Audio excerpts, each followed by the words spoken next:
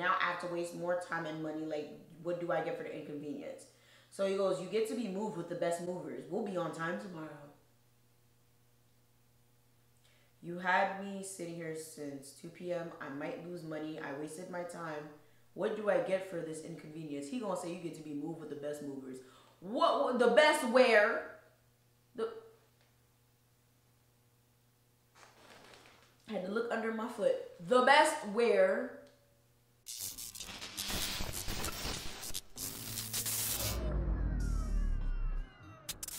What up, what up, what up, everybody? I am Thee Mademoiselle, and this is my channel, and it is currently like 2 in the motherfucking morning, and I decided we're going to do a motherfucking story time, okay? If you guys follow me on Instagram, you would know that I just moved, okay? Yes, again. I moved in October, and I had to move again. If you guys do not know, I am going to link down the original story time about my landlord scamming the shit out of me. Now there will be a part two, but this ain't that video because I'm waiting to get my motherfucking deposit back. If I don't get my deposit back, I am going to take this man to court. So I would much rather drag him for real, for real when I get my money in hand. And for those of you who are gonna be like, Oh my god, but, why would you get your deposit back? Like you broke the lease first. First of all, that nigga broke the lease first without giving me my motherfucking parking that I was promised. It, it, it, was a whole lot of other shit. Didn't have heat for a good amount of time. Sat there, lied to me, didn't pay his dues. It's a it's a hot ass mess. So so today we are going to be talking about the moving process, okay? Because I, I I I don't understand what's up with me, Brad. Like bullshit just always happens to me all the motherfucking time. So I was about to tell y'all to get y'all snacks, get y'all water, get y'all liquor, but I ain't got shit. And this this this I ain't doing it right. I'm gonna get my wine and some snacks, bro. Let me. I have no idea what this is. It's dry though. And I got the hood delicacy, okay? Cheese doodles. Comment down below if you love you some cheese doodles. So just to let you guys know, I curse a lot. I have to fucking say this shit. Now and again, I get that occasional comment like, oh my God, you curse so much. I had to click out the video. Ah? Didn't I ask you to come here? I didn't think so. Also, if you have a problem with my eating, you can click off too. Some people got some fucking nerve. If you have a problem when you're watching a video, if you don't like certain things that a YouTuber does, you can easily exit the motherfucking video. It's very simple. You can exit in silence. That's not what I said. I wanted to move in April, however, I was not able to find anything. I was actually originally supposed to move in January. However, couldn't really find anything that I genuinely liked. After April 1st, I had my heart set on dead ass. I'm gonna move by May 1st. Like, I'm gonna look now. Like, I started looking April like 10th, maybe. Probably earlier. Like, I was not playing. I was looking at like two to three apartments every day, sometimes four, back to back to back. And this is in quarantine. Now I know. A lot of you can be like, oh my God, why didn't you just stay? Da, da, da, da. Bruh, like I said, my heat was on and off. Sometimes it would work, sometimes it would not. My car was already vandalized because I was promised parking and did not get that parking.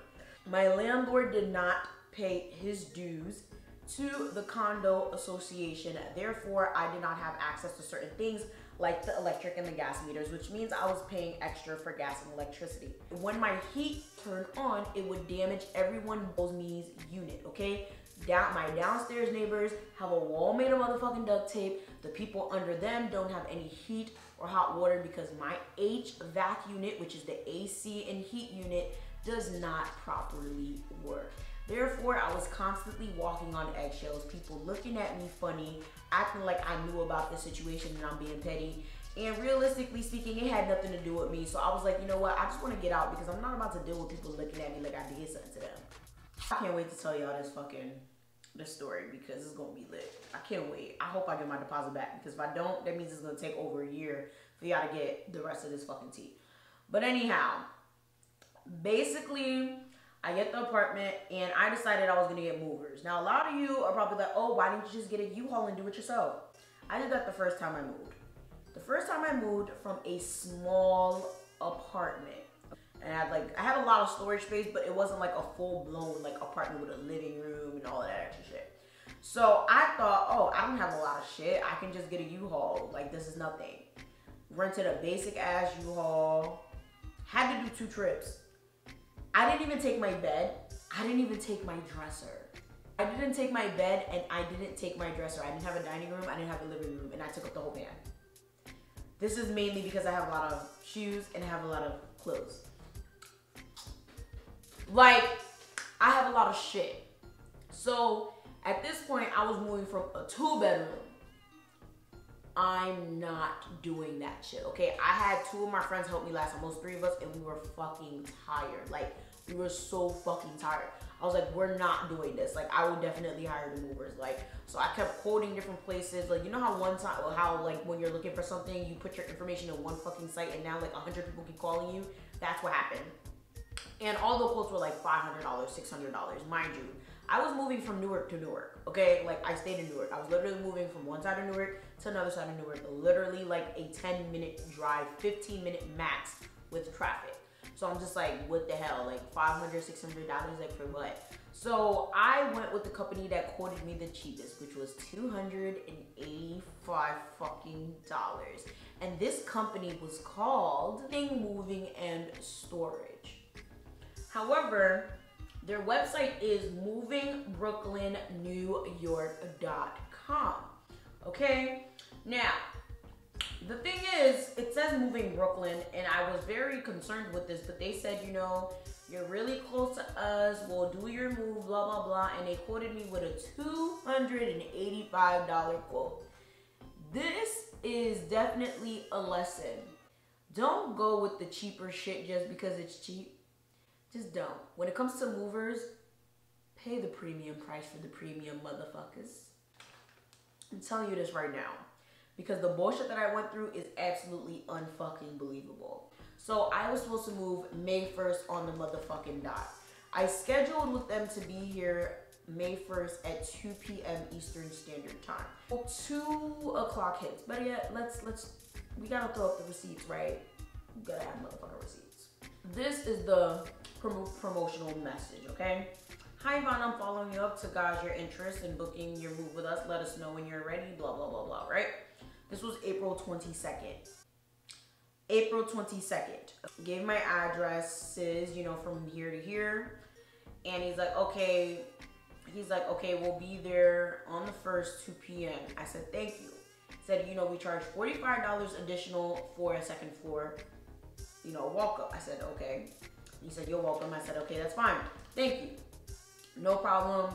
You know, how many people? He said, Two. Two movers. Boom.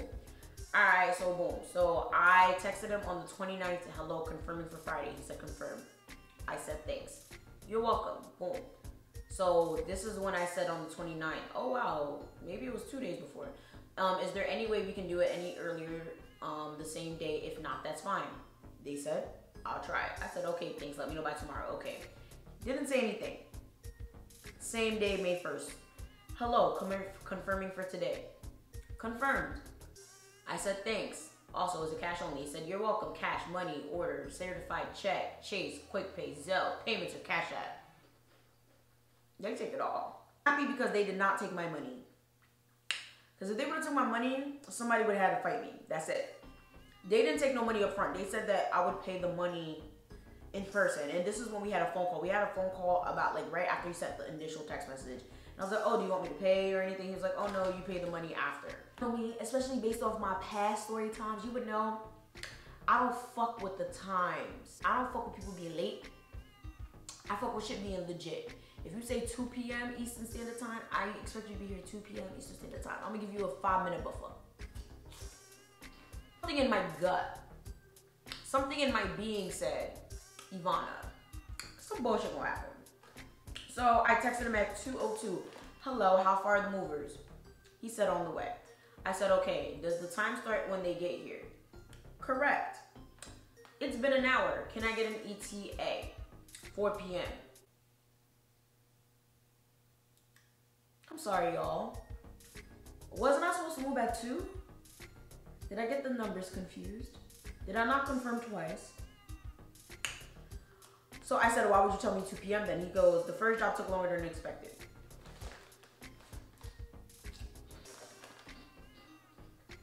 At this point, I'm with my boyfriend. My boyfriend came. He pulled up around like maybe 145-ish, maybe 130. And I was infuriated because I don't know, like I, I usually feel shit when it happens, like when it's about to happen. I'm like, bruh, like I know it's about to be some bullshit. Like these niggas is about to try me. And they legitimately tried me. So I'm sitting here like, well, I really wish this was communicated to me because there is still no one here. I have a walkthrough soon and you guys are insanely late. This is unprofessional. He said they just left to you. I said, from where? Brooklyn. I'm in Jersey. Brooklyn. Now, Brooklyn, depending on the traffic, could be an hour and a half or 30 minutes. It all depends. Nonetheless, Brooklyn. I said, this is insanely ridiculous. That's like an hour from now. Didn't answer. 5 fucking 40. Are they still coming? Because this is getting really disappointing. We come coming. 817. Hello, are they still coming? I'll call you back. Now, I have called him at least three fucking times, bro. That's why he said, I'll call you back. Because no one's answering me at this point. Shit is going straight to fucking voicemail. So it's like, I'm supposed to move. At this point, I'm telling my landlord, like, hey, my movers didn't come yet. Is there another time you can come? At this point, legally, I'm upset because legally, he can technically keep my deposit or charge me an extra month's rent for just being there one extra fucking day. Even though it has nothing to do with me and this is not fucking my fault. Like at this point, I'm livid. Like I haven't been that mad in such a long time because it's like, what is this? Like, what is the problem? Like, we're in quarantine. Who's really sitting here moving? Like, who? Okay, he said, let me call the driver. I said, okay, please let me know. He said, waiting for a reply. Then I said, anything yet. So 8, 831, 840, anything yet. Then he said 844, not yet. Now, between all of these messages, my sister called, me and my boyfriend were together, and my boyfriend called and set that nigga straight. He was like, yeah, yeah, yeah, I'm gonna get the driver. And it's funny because when we had called, he was talking about oh, you know, the driver's leg is hurt. He said the driver hurt his leg. Me sitting here waiting since 2 o'clock and now you want to tell me the driver's leg is hurt? I don't want to hear that shit. He's like, oh, I can get you another crew or you can schedule to tomorrow. Is there any way we could do tomorrow? No! It's May 1st. Point, I'm fuming. I'm pissed. I'm mad. Because it's like, are y'all really serious right now? Like, is this a joke? Like, is this a game? Like, why do you think that it's okay to be playing with my emotions like this? You had me sitting since fucking 2 o'clock, bro. 2 o'clock. And now you're telling me tomorrow? And at this point, it's like 8, 9 o'clock. I'm highly upset. My landlord told me some he on his way. I had to talk him into coming on Sunday. Y'all. And this is Friday, so I had to talk him into coming on Sunday. So now, this is when he's like, oh, we need to reschedule to tomorrow. I'm sorry, they're still working. 2 p.m. tomorrow? I said, definitely not. You had me sitting here waiting since 2 p.m. We cannot have this happen again. If we're going to do tomorrow, I need early morning since I'm here. I might get charged for an extra month. This is unprofessional. He goes 12, I only have 12. I said, no, I need early morning or tonight. I'm losing money because of this. I'm supposed to have my walkthrough in one hour. This is unacceptable. Please do something because this is inconvenient. At this point, it's 8.50 fucking 7. He goes, they're not going to make it. Only 12. I said, you guys may not show up. I can't take that chance. He goes, we'll be there a thousand percent. I'll be on top of it. I said, you should be on top of it today, or you should have been on top of it today. I'm going to have to lose money because of this, and I've been waiting since 2 p.m. I could have started moving, but instead you had me sitting here for waiting for hours, and that is not fair. Now, in between these text messages, there were phone calls, okay? And every single time I was like, okay, I'll just do this, I'll do that, I'll do this. Oh, no, no, no, we're coming, we're coming, we're coming. One more hour, 30 more minutes, blah, blah, blah. They're coming now. How they coming now? Come on now. They're coming, but they're still working? I thought they were on the way to me. Get your life straight, bro. So, you said most of my trucks finish by 10 a.m. Five of them I'll have a crew for 12, 100%. I said, so the earliest you have is noon. He said yes. I said, I'm not waiting past 12 because I um, now have to waste more time and money. Like, what do I get for the inconvenience? So he goes, you get to be moved with the best movers. We'll be on time tomorrow. You had me sitting here since 2 p.m. I might lose money. I wasted my time. What do I get for this inconvenience? He gonna say you get to be moved with the best movers. What the best where? Had to look under my foot. The best where do I get a discount for the inconvenience? He goes, no taxes. Long story short, we start negotiating. And he's like, without taxes, 430. And I'm like, I was already paying that. There was never a fridge in the picture. Like, he didn't even know my order, bro. Like, he was fucking shit up talking about some, oh, well, with the fridge, blah, blah, blah, blah. You would have been paying 468 And it's like, 468 It was supposed to be 285 plus the $45 for the walk up. And he's like, without taxes, 430 And I'm like, nigga, no. It's supposed to be 330 285 plus the 45 Realistically, fuck taxes. Fuck is you talking about? This is a hot ass mess. Now that I look at it, this map don't really make much sense. I said, that's not a discount because that's what I was expecting to pay. I said, so are you coming tomorrow or not? Because I need to know so I can make different arrangements or not. He goes, 330 yes. Like $330. I said, and there's is there anything early before 12? There would that would be a lot better since oh, this would be a lot better in the morning since I waited. He goes, no, 12. I said, okay, I'll be waiting.